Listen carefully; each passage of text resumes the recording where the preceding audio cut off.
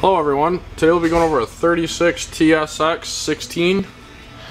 This is a XLR Boost 2020 model. Very nice. So today I'll be going over showing you everything and how everything works. If I miss anything or if you have questions on anything, you can always give us a call and we'll be happy to help. Uh, first we'll just start here with the awning. Um, you're going to want to run these awnings out until the flap is hanging straight down. Once you're once you see that, go ahead and stop, and then you're gonna hit your retract button when you're done. If you keep holding the extend button, it will wind itself up backwards. So you don't want to do that. And then do a adjust your pitch. You're just gonna simply push this arm in and then tighten down the knob. And all the arms are the same way. So pretty easy on that.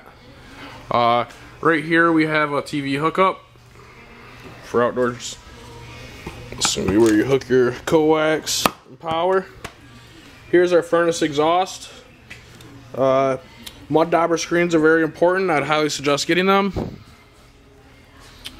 So, and then up here we have our stovetop vent. So if you're gonna be cooking bacon or fish, you're gonna wanna open these tabs up um, you know, when you're cooking, so it'll vent out, and then when you're done, go ahead and snap the taps back into place. So, uh, here we have our water heater. Uh, this is a anode rod slash your drain plug. But over time, this anode rod's going to deteriorate, so this will have to be replaced. Um, inch and an eighth socket on that. Anytime you're going to be removing the anode rod, make sure to relieve the pressure. Right here we have our 110 switch for the electric side of the water heater. And then you're going to have a switch on the inside for the LP side. So, and then you have two resets right here too. They'll pop out at you know, just push them in if they ever were to trip. Um, inside here, compartment here, we have a 30 to 50 adapter, uh, a starter sewer hose, and then a 30 to 110 adapter. Just in case your uh, power cord wasn't long enough, you could hook to an extension cord. Um, if you did do that, just make sure to only run your lights on that.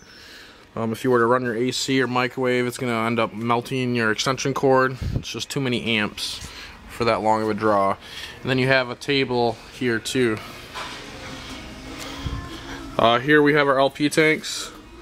Um, right here is our regulator. It's kind of hard to see, but uh, there is a little point on one side, and you're just going to flip that um, to suck to the other tank. So, and that will turn green uh, once pressure is there. And uh, once the tank was empty, there'd be no more pressure there, so that would slowly turn to red. And you do have a light in your compartment here, a little push button light.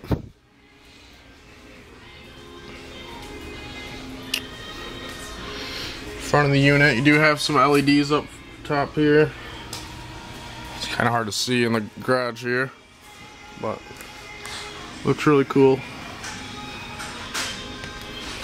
Especially at night, it really sticks out. Uh, here we have our landing leg control. Just gonna extend and retract to go up and down with your legs. Um, you will have pull pins here too. Uh, when you go to extend this, make sure to see this tip all the way through. Very important. Uh, inside here we have uh, where your generator would go. So it is pre-wired.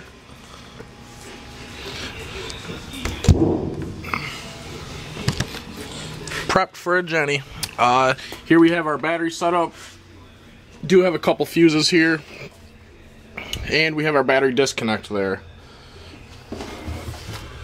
So, if you're not using the trailer, uh, you're gonna want to flip this battery disconnect off. Once you do that, no power is going into the battery or out of the battery. So you're gonna want to make sure to have that battery disconnect on when you're traveling. That way you're charging as you travel. Then you have some docking lights here for hooking up at night.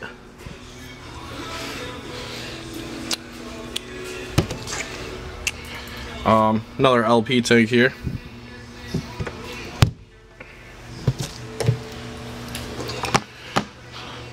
Storage. We do have a manual crank here. Um, that's going to be for our manual uh, slide out. Here we have our fresh water, which is going to be our potable water for camping out in the woods. We're going to fill this up at home. As you're filling, check your gauge. And then here we have our city water. So most campgrounds that have water, you're just going to hook here and that's going to pressurize the unit for you. And then here we have your black tank flush. So uh, I would use this as much as you can. Um, you actually have a sprayer inside your black tank that's spraying around, knocking things down. Um, remember to only use single ply toilet paper and to keep up on your chemicals. Right here we have your poles, black and a gray. Typically you want to pull your black first and then rinse the tube out with the gray water. So black water is your toilets, gray is your sinks and showers. Um, and you do have an outdoor shower here. And you, this is where your cable and satellite input's going to be. So if the campground had cable, you're going to hook here and it's going to be dispersed throughout.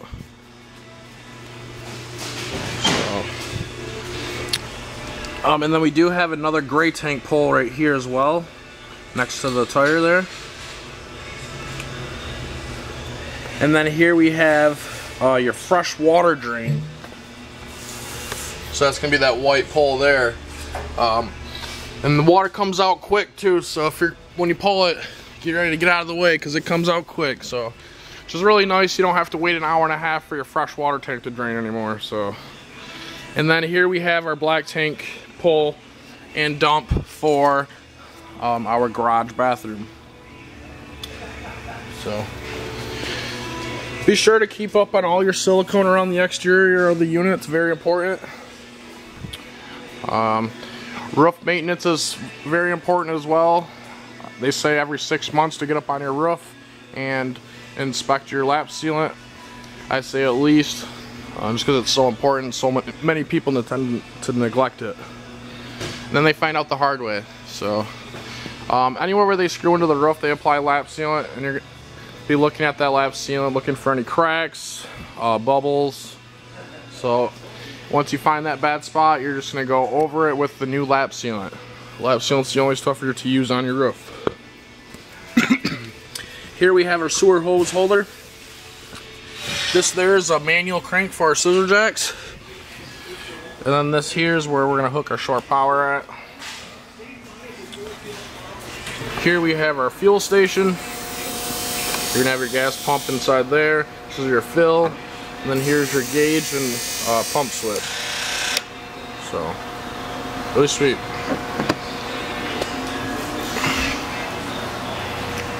Roof is fully accessible.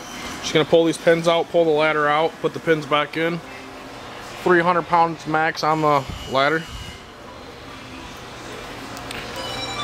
Back deck gate area, party deck.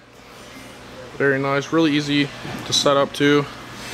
Basically you're just gonna push, open this door up, hook it there, and then the door will open up and that connects here.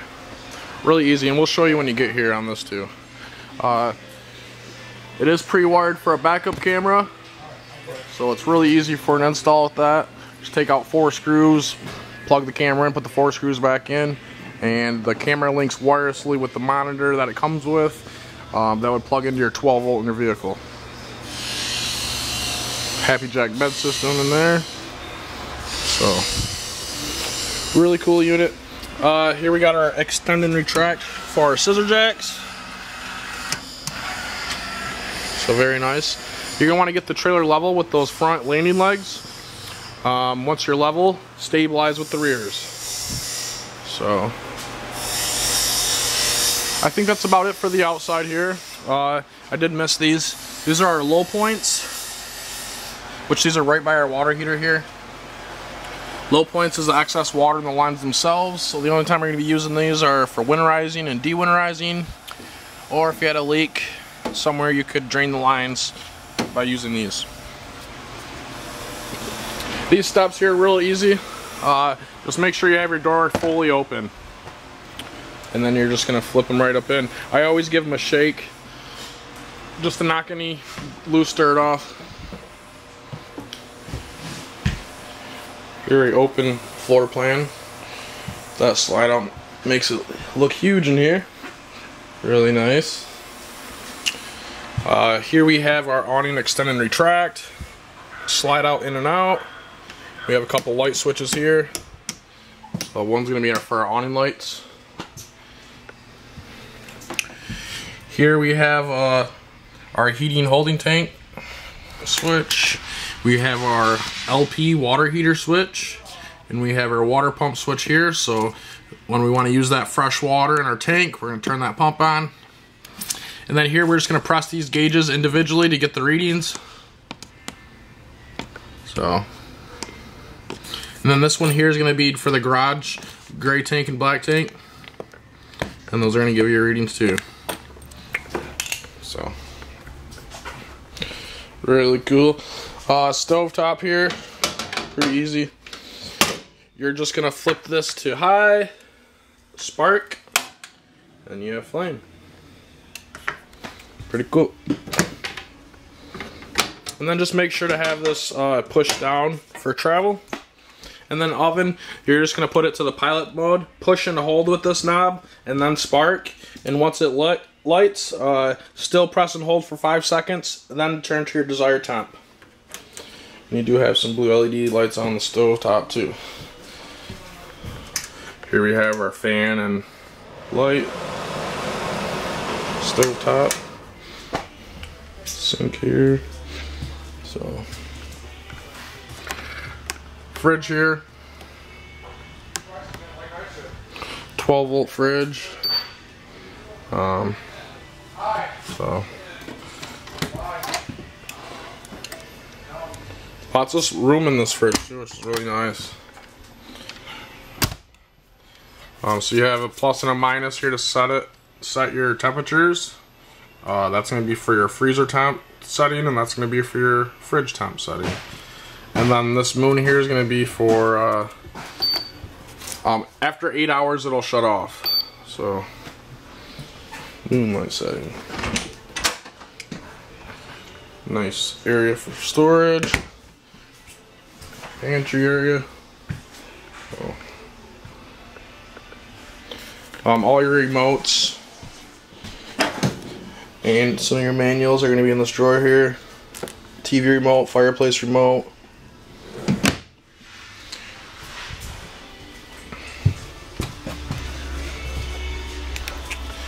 Sink, toilet on the garage. This area here, this door will uh, close too. So you're going to use this door and this door and it'll make a door around the bathroom area there. So. HappiJacs. Um, you're gonna have a bed lift button here, go up and down. Um, you can fold these down into beds on the bottom here. Um, yeah, and then if you wanted to leave this top section up, you're gonna run uh, the, you're gonna flip this down into a bed and then run it all the way up, and then you're gonna pin the top bunk into these holes here.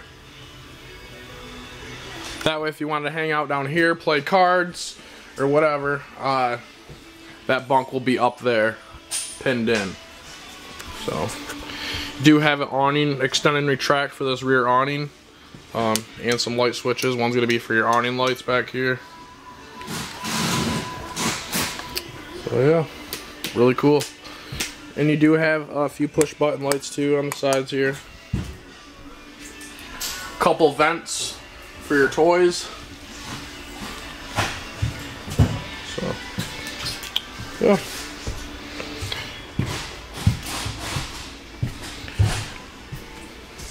Radio, you're gonna have aux cord, Bluetooth, all that.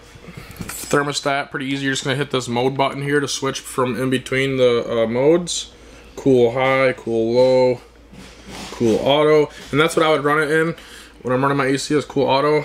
And then for heat, you just flip it to heat, and then adjust your uh, temperature. So fireplace. Um, it's push button down here actually. So I was impressed on how much heat these things put out here. Fuse panel here, all of our 120 stuff's labeled there, all of our 12 volt stuff's labeled here. I would suggest grabbing some 15 amp fuses just to have for the unit, just in case. And then if you were to install a generator, it is already equipped with an hour meter and start and prime.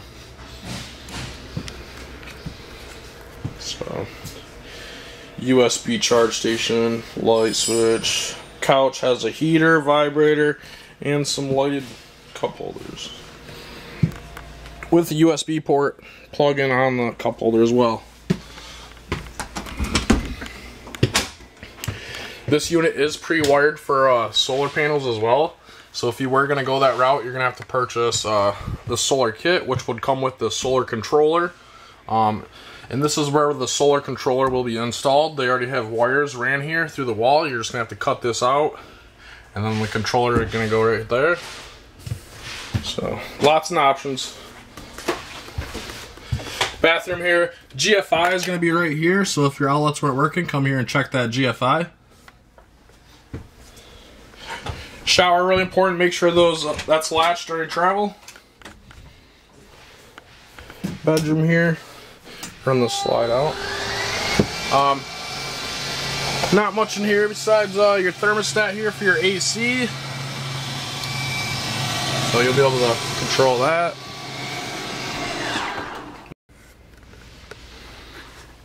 So yeah, there is some storage under the bed as well. Just lift it up.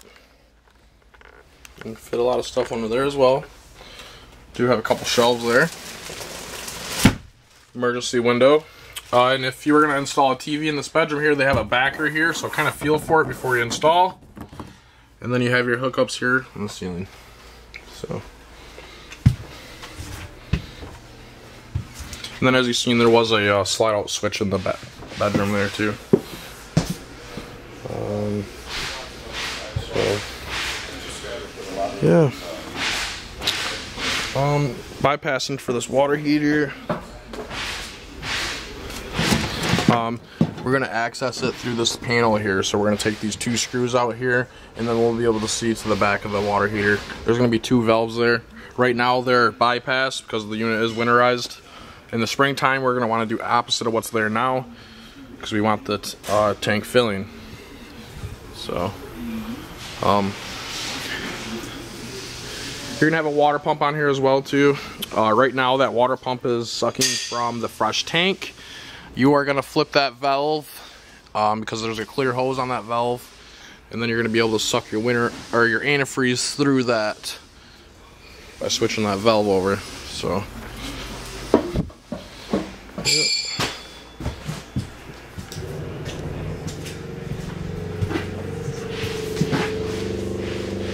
So our pump is going to be on the other side of the unit, uh, on the off door side underneath in that front compartment area. You're gonna have to access that just like you would for your water heater. So I think that's it for my show through. Like I said, if you have any questions or if I missed anything, go ahead and give us a call. There is lots of information on YouTube as well.